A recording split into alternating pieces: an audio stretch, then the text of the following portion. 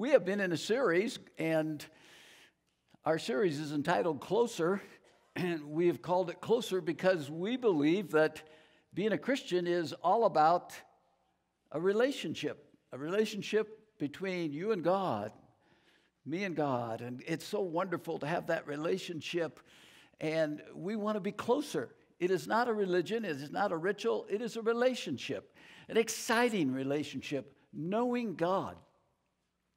And He wants a relationship with you more than Pastor Carl could explain to you today. He told us to call Him Father. What a relationship! It is a love relationship. He wants a close relationship with you. And so we've sort of focused on what could we do to, to, to be closer to God in our relationship. And we had five tens, and we looked at one each, each week. And, and so the last one is tithing. And, and you say, Pastor, are you going to talk about money again today? I am. You came on a day, you know, and you're saying, man, I braved the weather, and he's going to we're in a new series starting next Sunday, a new series on the stories Jesus told. You're going to love it because Jesus told, he was the master storyteller. The greatest storyteller that ever lived was our Lord Jesus Christ. And we're going to look at just some hi- highlights, some of them, and we'll have so much fun. It'll take us right up to Easter. But true riches, what are true riches?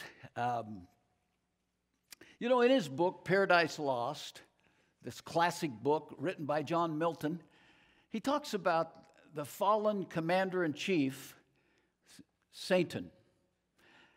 And then he talks about some of his, his generals, his demon generals. Uh, they were Magog, they were Belial, Moloch. These are gods that you read about in the Old Testament. They turned the hearts of people away from worshiping the true God to worshiping idols. And then he tells about one more, though, and in, those, in these, these demon generals that Satan had in Paradise Lost. And that one more was um, Mammon. Jesus spoke of Mammon in the New Testament. So the others were Old Testament. This was a New Testament general, Mammon. And uh, Jesus said in Matthew 6 24 that it is impossible to serve two masters. We'll hate one and love the other, loyal to one, despise the other. You cannot serve God and mammon. It is possible to not serve God but instead to serve mammon. In fact, I'm fearful in my heart that many, many of God's people are not serving God. They are serving mammon. Mammon is first in their life, and whatever's first in your life is what drives your life. That is the most important thing. God said you can't serve both. Mammon wants to rule you, He wants you to serve Him. He is seeking worshipers. He promises security, freedom, power, identity, all the things that only God can give, lasting.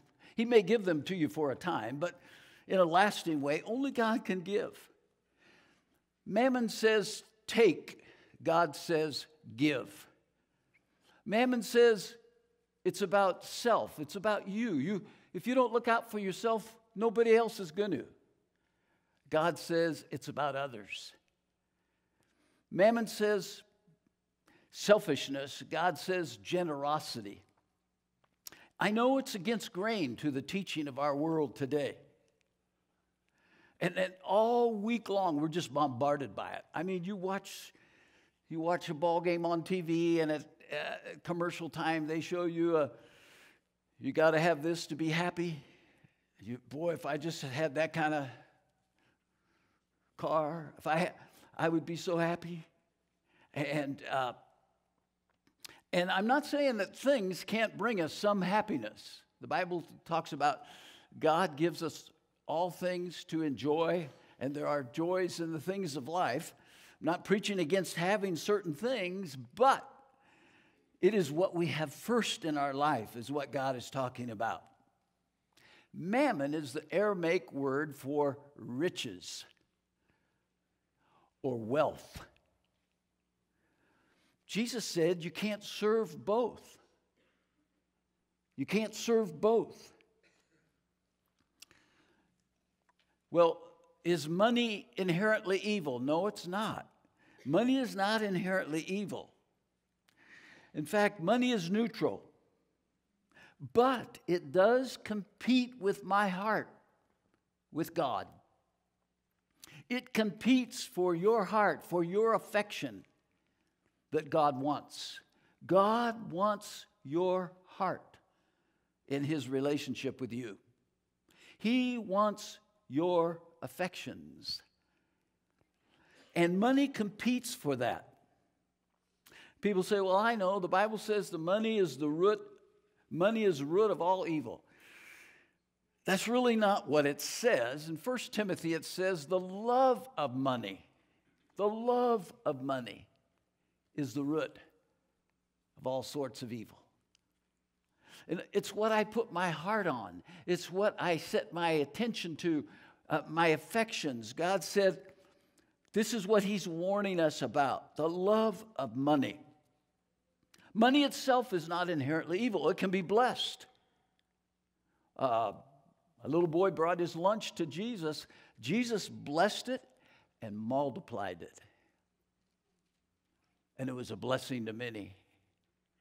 Two weeks ago, we saw Elijah said to the widow who was going to eat her last meal with her son and die because they were in a famine. She said, This is all we have. He said, Make me a cake first. what?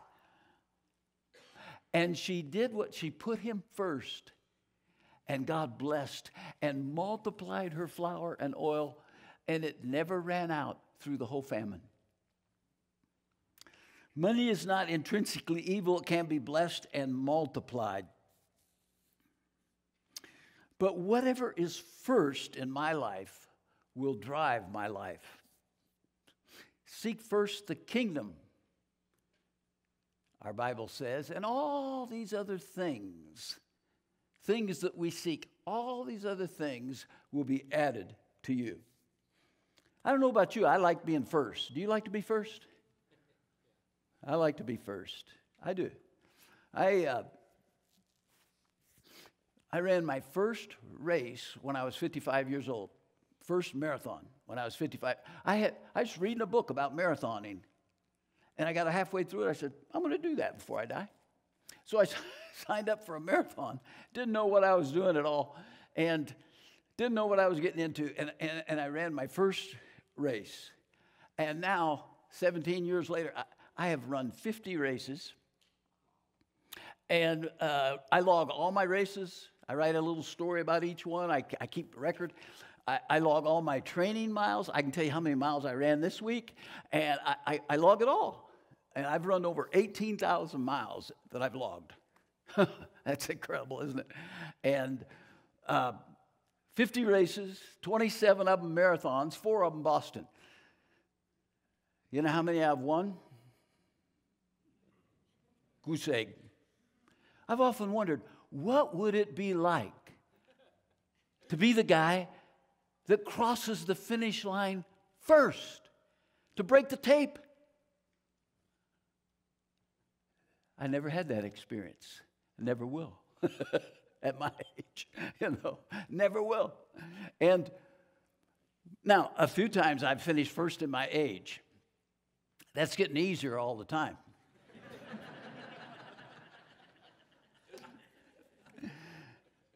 And uh, in fact, uh, several times I have. I finished third in the Lincoln half a few years ago, missed second by a few seconds, and I did the half in a, an hour 50 something. I thought that was pretty good. Well, then, two years ago, my wife and I went to Utah and we hiked some canyons and Bryce Canyon, one of the most beautiful spots in the world. And I ran the half marathon at Bryce Canyon. And it all came, sometimes it all comes together. It all came together for me that day. And I ran it in an hour 47 minutes, which is about eight minutes, just just a tad over eight minutes a mile. I mean, for a guy, you know, pushing 70, that, that's pretty. And we went to the award part afterwards, and I, they called up the third guy in my age bracket, and I looked at his time and I said, I must be at least second. They called up the second guy, and I said, I looked at Gail and said, Oh my. Because I had it figured out then. Then they called my name, and I walked up and I got the first, I got the trophy for first place, and I liked it. I stood up there for a little bit, looked out, I said, I like this. I like finishing first. This is exciting. This is as, this is as good as it gets. And so I was going to go back the next year. Instead, I had an injury. A hamstring went bad on me, and I, and I had to miss four months of running. I had never missed that long. And I had to go to physical therapy, and I tried to get back to eight minute mile, couldn't get back. And so this year, I went back. And my wife wasn't able to go because her mother was in the hospital, so I went by my lonesome. And I hiked several canyons, had so much fun. Eight days, I like to camp. I camped. And the last day, I did Bryce Canyon half again. Same race. I said, I'm going to get first. I'm going to get first again. They called third place. He went up, and my name was called second. I got second place. Then they called first. I didn't like that guy at all. and I had a 17 mile drive home, 17 hour drive uh, home from Utah. All the way home, I was beating myself over the head. Carl, you could have done better than that. You came in second.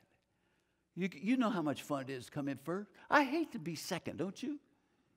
I want to be first. I just want to tell you something. My God will never settle for second in my life. He will never. If you don't remember, th- remember this. There's certain things God cannot do. Did you know that God can't change? He, he's perfect. Jesus Christ the same yesterday, today. He can't change. Uh, uh, God can't. Uh, God has perfect knowledge. He can't all of a sudden learn something. I mean, he, he never has to say, uh oh, and figure something out like you and me. Nothing ever dawns on God. You know, he know. I don't understand that. Here's another thing about God. God cannot be second. Theologians call it the preeminence of God. He is first. He was first before anything else. he is first, always will be first. He is God. He is God.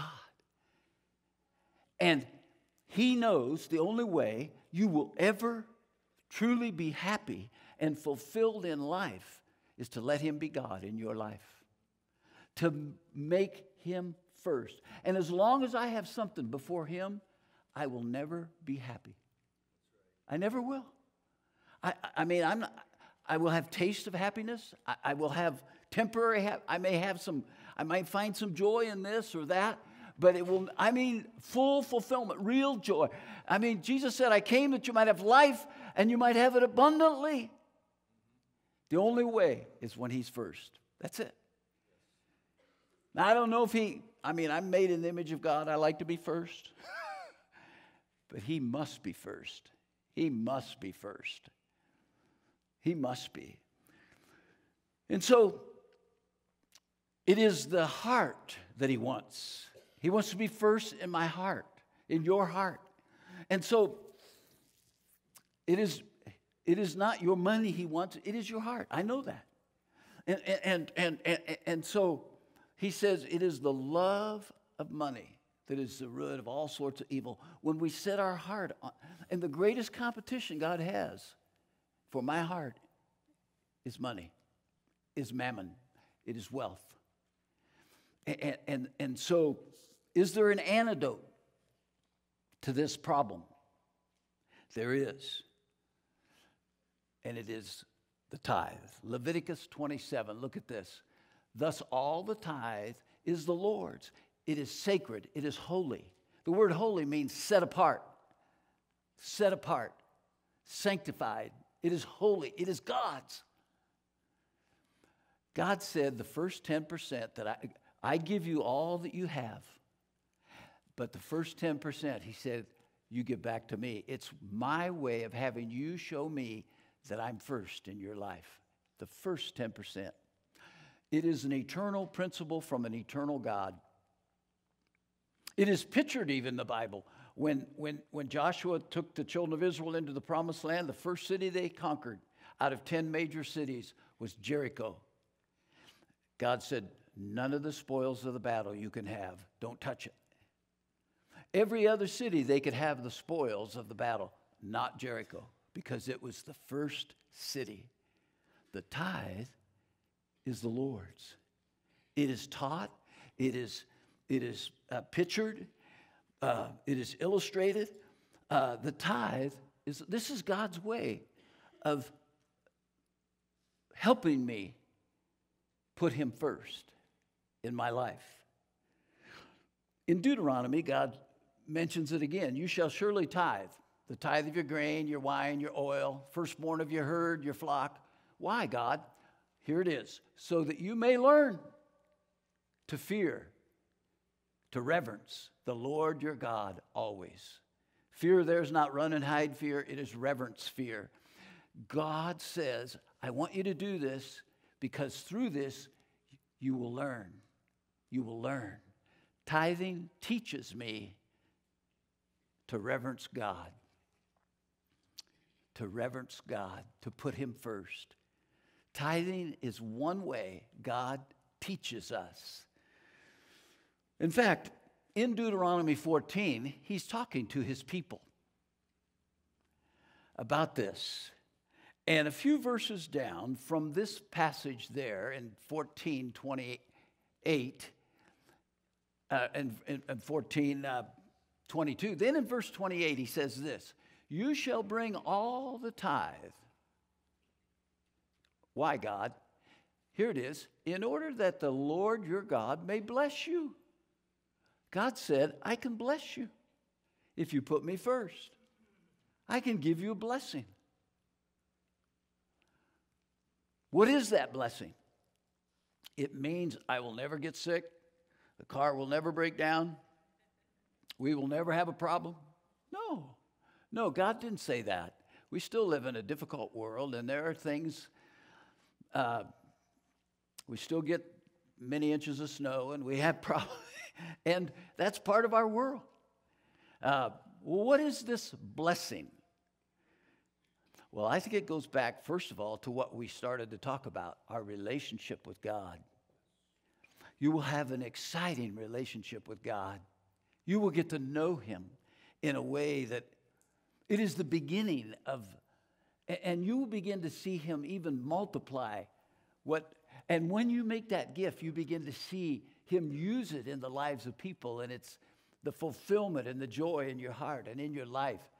And then a few verses down, I think we have a little indication. Look at this. A few verses down, Deuteronomy, for the Lord your God will bless you how, God? The Lord will bless you as He has promised, and you will lend to many nations, but you will not borrow. God is talking to His people, the nation of Israel, and He said, Here's how I'm going to bless you you will be debt free. You will be debt free. Oh, my. I, and I think it, it belongs not only to a nation, it belongs to families and to individuals. And we already saw in our last couple Sundays that 38% of the people in America today owe at least 16,000 on their credit cards. And they are paying 12% interest on that. So about 4 out of 10. And then 75% people of the people uh, have no budget, have no savings, and do not give. That's sad. That's incredibly sad. And that's why Jesus talks so much about this important subject in our lives because it, it can occupy us and we've become a slave. The Bible says the borrower is slave to the lender, Proverbs says. That's why 16 of Jesus' 38 stories were about money. Because he knew what it does to our heart and to our lives. It is the number one cause of divorce in America. It puts stress on, I mean, the devil's using this to destroy and divide families, and it's incredible. Because we've set our heart on the wrong thing. And we put the wrong thing first in our lives. But God said you can be debt free. Our nation today is 22 trillion in debt. 3 billion a day we're going into debt. Unbelievable. it's staggering to think about because we have forgotten God and we haven't put Him first. And so, therefore, we're not debt free. By the way, our church is debt free. And I'm teaching you to give. Yeah, we have a budget to meet. We do. And, and, and but I want to tell you something. I'm teaching you to give for you. Not because we got a building payment we got to make and we're up a tight, you know. That's not it. That's, uh, I want what's best for you.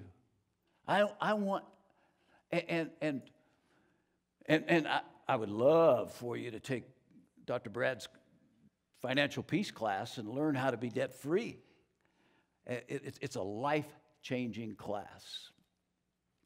But uh, God said, This is one of His blessings that I will give you wisdom to use the 90% so well that you will become debt free, He said. And why does God want us to be debt free? So we can just sit back and put our feet up and have a better whatever. Is that it? No, look at this next passage in Deuteronomy. You shall not harden your heart, nor close your hand from your poor brother. You shall generously give to him, and your heart shall not be grieved when you give to him. I like that little line, don't you? Have you ever given and then kind of said, Why did I give that much? I could have used that. God said, No, don't let your heart be grieved when you give. Why? Because for this thing, the Lord your God will bless you when you give. He's going to bless you. Give. Why does God want us to be good managers, to be debt free, to put Him first? Why? So we can have a way better life. Well, that's, but so we can also help others. Isn't that something? God, the next thing He says, I want you to help others. I want you to help people who are legitimately poor, not those who won't work, but those who, there are people who've gone through certain things and, and setbacks and, and, they need help. And, and so God says, in fact, in 2 Corinthians 9, look at this. You will be enriched, God says, when you give, in everything. What for? For all liberality God said, I'm going to enrich you so you can be more liberal with your giving. And so we become vessels and we receive from God and we give. We receive and we give. We become vessels for God. I know that we hear a lot today about socialism. And I think maybe some people have some, maybe some good motives when they are promoting socialism today because they're concerned maybe that some people are, need some help. Uh, and we have, it, it really comes from this zero sum philosophy. It's a zero sum philosophy. And that is this that wealth cannot be created, only distributed. Wealth can only be distributed. It's as if, let's say that uh, I'm over at your house and there's eight of us there, and there's a pie and it's cut into eight pieces. That means if I get two pieces, somebody else doesn't get one. And that's not good. Um, in other words, there's only so much wealth, And uh, and so if you have too much, that's, that's not good. I don't see that in the Bible, by the way. Abraham was wealthy, Barnabas was wealthy. God didn't condemn people because they were wealthy. Uh, Karl Marx divided people into two kinds of people the oppressors and the oppressed. And, but unlike a pie that only has a limited amount, wealth is not that way. The Bible says that wealth is not limited, but it can be created. Look at this in Deuteronomy 8.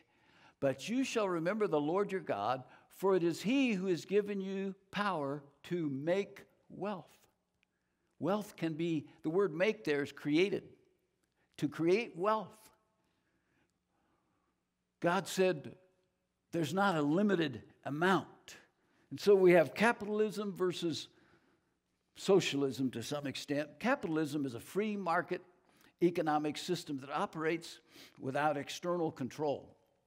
That's a generalization, of course, there's some controls, but there's the invisible hand, and that invisible hand is the marketplace, which is the principle of supply and demand.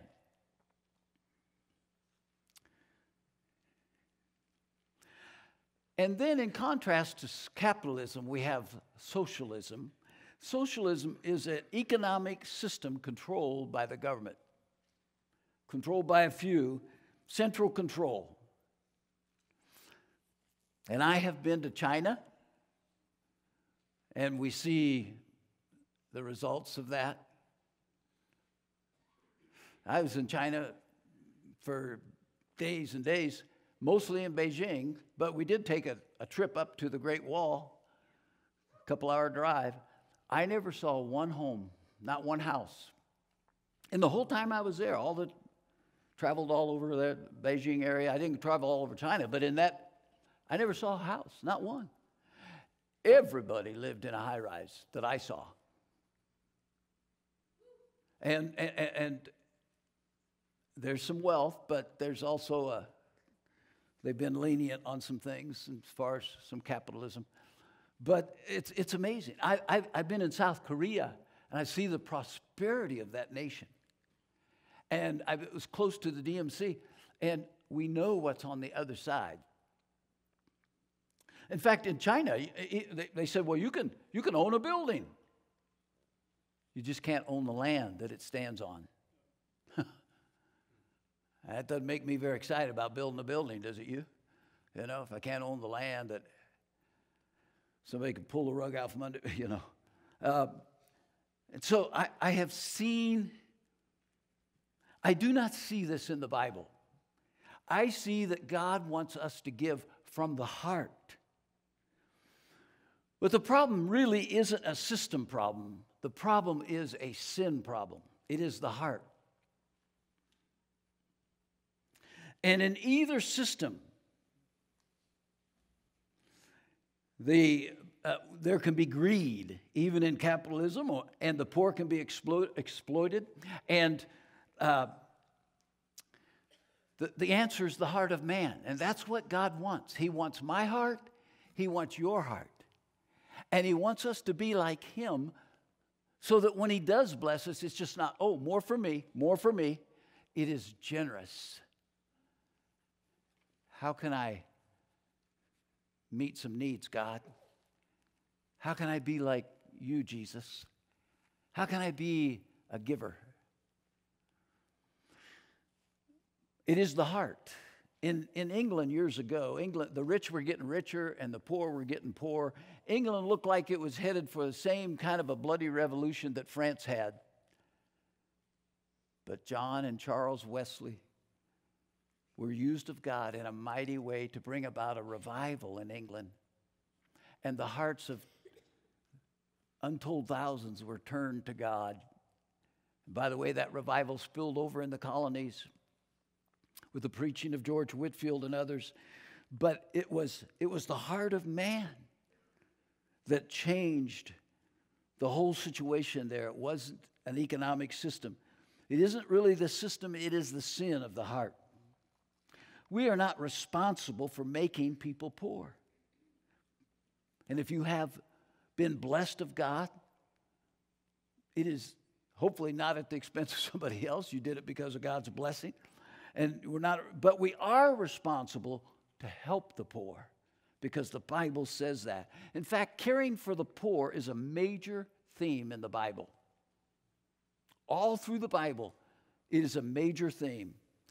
In fact, in Leviticus chapter 19, God said, Here's one way I want you to take care of the poor. And these were an agricultural people. Now, when you reap the harvest of your land, you shall not reap to the very corners of your field. You shall, nor shall you gather the gleanings of your harvest, nor shall you glean your vineyard, nor shall you gather the fallen fruit of your vineyard. You shall leave them for the needy and the stranger. I am the Lord your God. Leave them for we when we went through the book of Ruth. I've been through Ruth preaching with you, and Steve did it a few months ago. We saw that, uh, that Ruth gleaned in the fields, and she was a legitimately poor person because of the tragedy that had happened in their family. And, and this is exactly what God was speaking of. God was concerned about the poor. In the book of Proverbs, God talks so much about the poor. He who is generous is to the poor lends to the Lord, and he will repay him. Isn't that amazing? And Proverbs 22, he says, When you give, you will be blessed. And then again in Proverbs 28, um, you will never lack when you give to the poor. And in Proverbs 21, it says it affects our prayer life. If we, if we turn our head from the poor and do not listen, God will not hear us. And so God is concerned about the poor. In fact, in the New Testament, Jesus gave to the poor. And, and in Luke 14, Jesus told us when you throw a party, when you have a big reception, invite the poor. The cripple, the lame, the blind, and you will be blessed. For they do not have the means to repay you but you will be repaid. Did you see that?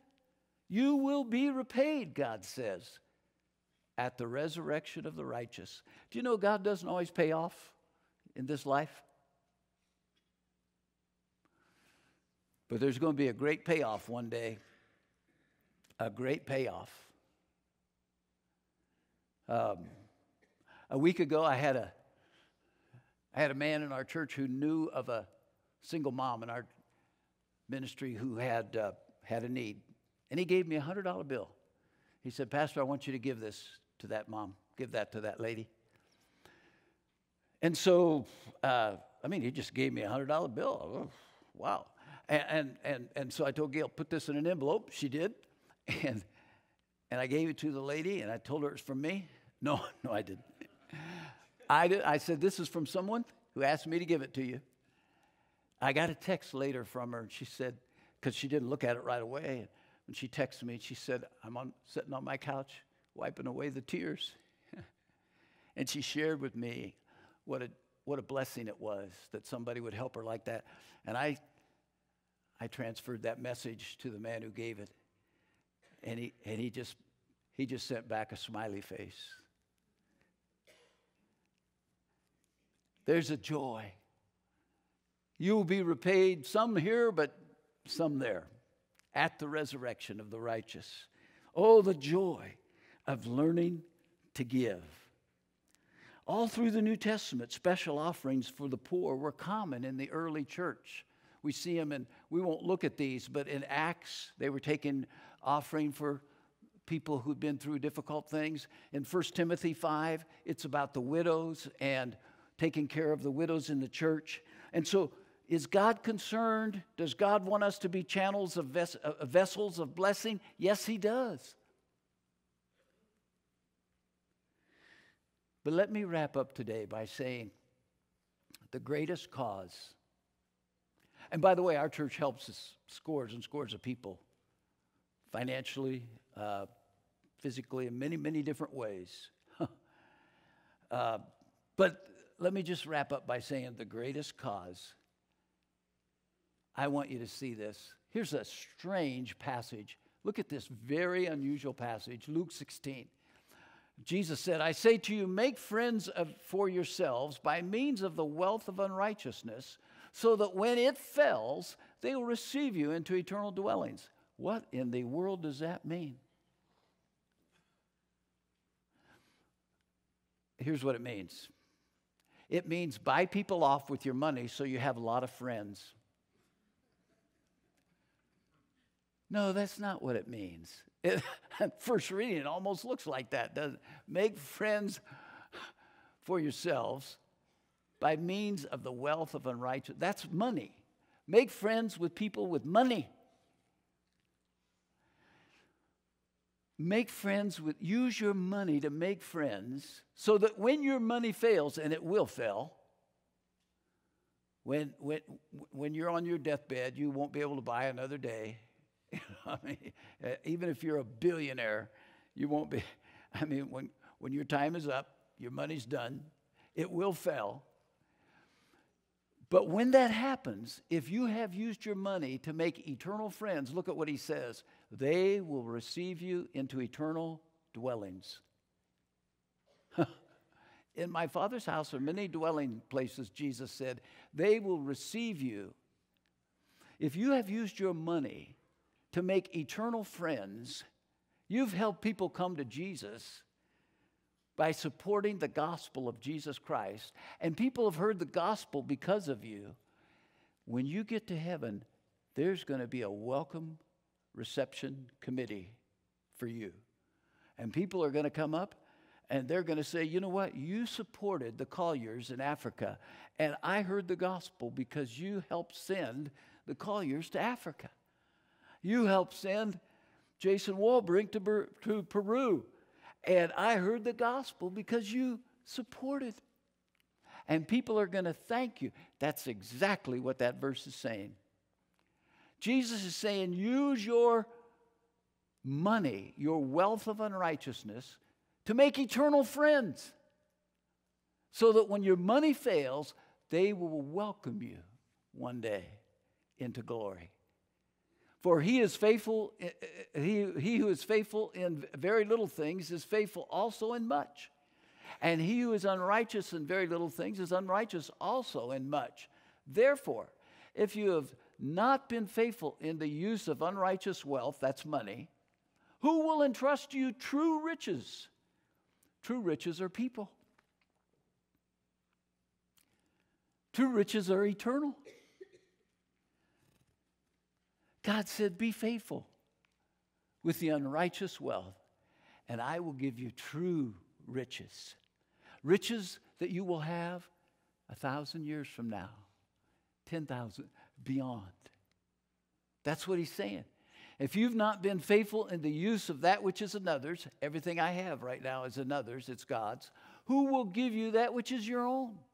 No servant can serve two masters, for either he will hate the one and love the other, or else he will be devoted to the one and despise the other. You cannot serve God and mammon. That's our Lord. The greatest cause I know of is to help people know Jesus Christ. That's what we're all about winning people to Jesus Christ, helping people to be ready for eternity.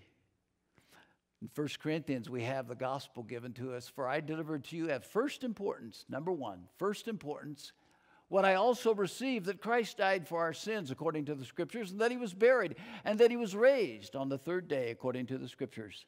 This is of first importance. You say, Pastor Carl, should we help people clothe people, feed people? Should we help people pay their rent? Should we help? We do that all the time here, if you want to know the truth. And we help people constantly with, with temporal needs. But I want to tell you something there is a far greater need, a far greater need. And we must never lose sight of that. The greatest need anyone ever had is to hear the gospel and to know Jesus. That's the greatest need. The greatest need is not temporal, it is the eternal needs of people. And only the gospel addresses the eternal needs of people. And that's why God said to us, and I want to close with this wonderful passage that we've looked at week by week bring the whole tithe into the storehouse. That's the temple, the local church, so that there may be found in my house, there may be food in my house. Test me now in this. If I will not open the windows of heaven and pour out a blessing till it overflows. The only place in the Bible where God says, Test me. The only place. I, I, I want you to see Aaron and Megan's story about their putting God first. Watch the screen. So my background with giving um, in my growing up years with my parents involved mainly just being generous. Um, they didn't tithe, but they, they did give an offering every week at church, and we went to church weekly. Um, but that's mainly how we contributed. My background of giving was from living in a Christian home where we did tithe. So I was raised to give 10% of my income even from a young age. So when we were first married, um, Megan was influential in, in uh, establishing the idea of tithing in our, in our marriage. And through discussions, we decided to, to tithe. And that was really phenomenal to me. And, and we just watched through time as, as I was the only earner at that point. I had a job, a starting level job, and uh, it was a lot of money to, to ride every week to the church. And, and uh, it was an interesting time in our lives because we just moved to another state and we had a lot of expenses and whatnot. So we made the decision to give 10% of our income even when it seemed like we didn't have enough to cover all of our bills. And one time we had given our tithe to church and then we received another bill and we honestly had no more money to pay that expense. And when we were at church, the pastor gave us a check for $100 that he said someone had given him to give to someone in need that was pretty remarkable because we were working and had decent jobs and there was probably someone in church that needed it perhaps more than we did, but God had put it on his heart to give it to us. And that paid our bills.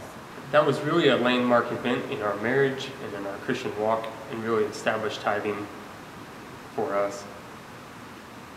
It really showed us that when we were faithful to tithe, God would provide for us. At that point, we started to get concerned about our financial situation, and we had the opportunity to go to a Financial Peace University course hosted at our church. That was really a phenomenal opportunity to learn about finances and re-established, I would say, the, the, the reasoning behind tithing for me. At that time, we were $100,000 in debt, and we still chose to tithe during that whole time, and God allowed us in four years to pay off that debt, and we were able to give to people whose needs came up during that time, um, and God still allowed us to pay off the debt. So while we were paying off our debt, we came across a situation where a family friend of mine from childhood had two special need children who had some very specific learning issues and they were unable to afford all of the different things that they needed. And God put it on our heart to go ahead and buy an iPad along with some learning software so they could make progress in their education. And we were blessed to be able to do that. And it almost felt like as soon as we made the decision to give that, that God allowed us to pay off more debt than we had anticipated being able to. Our goals for the future are to become debt free, including our house. And that's pretty exciting because that could allow us the opportunity to be generous in even more ways. Wow. That is amazing, isn't it? You didn't even need me to share a message with you today. You heard it right there. That was incredible. I mean, everything I said, they just said. I mean, they were blessed of God when they were in a difficult situation, their need was met. And then God helped them pay off a big debt. And they are pursuing being absolutely 100% debt free, pay off their house. And, and then they were able to be, during that whole, even during that time, they were able to meet the need of somebody else. That is God blessing and making us a blessing. And I'll tell you, that's the excitement. I'm going to ask everyone here today to reach out in front of you and grab that card. Just reach out and grab the card in front of you. Everybody here today is going to do this. Everybody's going to write me a note today because you came on a snow day and you deserve all the credit in the world for coming today. And so I want it recorded. Just, just put your name on that card and say, Hi, Pastor Carl, or something like that. I don't care what you write, just so it's nice. And, uh, but if God is speaking to you today and you have not made this important step, let me just say to you, I want you to write on your card, I just want you to write tithe dash test. I'm taking the test. I'm going to take the step. God said, Test me now. I'm going to challenge you to take the test for your sake, to put God first, and I will give God the tithe. Take that important step. Would you do that? Put it on your card. Many of you are already doing this. I'm not asking, don't, don't put it down if you're already doing this. But if you're new to doing this and you're saying, God is speaking to my heart, I want to step up, I want to be a tither, then just write tithe dash test. You see it on the screen. If you'd write that on your card, let me just tell you the good news. This is our third and last Sunday to talk to you about this.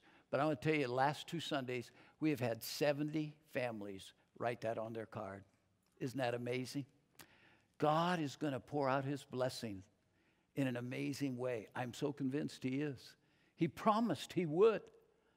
He's going to bless some people in an amazing way. And I, I'm praying for you, even by name. That's a lot of names to pray for. But if you will put your name down, if you don't want to put your name down, you don't have to. Or if you just want to put your first name, I don't have to. Nobody's going to contact you. This is between you and God. Absolutely between you and God. But I want to pray for you because you are making a step of faith. And I know you're shifting gears and making a new lifestyle. And it has been a part of my life since I was just a little guy. And my wife and I have been doing this all of our lives. In fact, uh, way beyond this. Uh, but when you do this, God gives you a story to tell, just like Aaron and Megan had there a story to tell, just like the little widow and the flour and the oil didn't run out. She had a story to tell. Just like the little boy who gave his lunch. I, can, I would have loved to have been at his home when he came home and said, Mama, she said, Did you eat your lunch today? I just would have loved to have been there when he told Mama, Yeah, I ate my lunch and 5,000 other people ate my lunch. when you put God first and you get, I'm telling you, you have a story to tell. And it's so exciting. And I want you to have the exciting Christian life. I want your walk with God to be so exciting. And so I'm challenging you today and I believe that many of you are going to take that important step. I just want to tell you, I love you for coming out today. Mitch had to talk me into coming today. I didn't want to come. I texted him after I got stuck outside. I went in, I texted Mitch. I said, Mitch, I can't hardly get out of my drive. It's a mess. He said, uh, Well, Pastor, do you, do you really want to cancel? no, I don't. I'll be there. but I thought it was just going to be me and Mitch. And I told him, I said, Well, Mitch, you need this message, so I'll be there. Thank you for coming. You are awesome. I love being here, don't you? It is so wonderful to gather around this book. It is so wonderful to be a part of the Calvary family. I love you.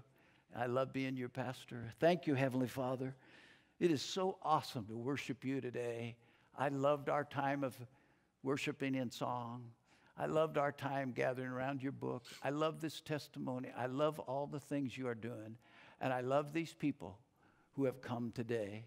And I know many of them are taking important steps of faith, putting the world behind them and putting you 1st mm-hmm. Dear God, please bless them in such an amazing way and help them through the testing times to stand faithful and trust you through it all.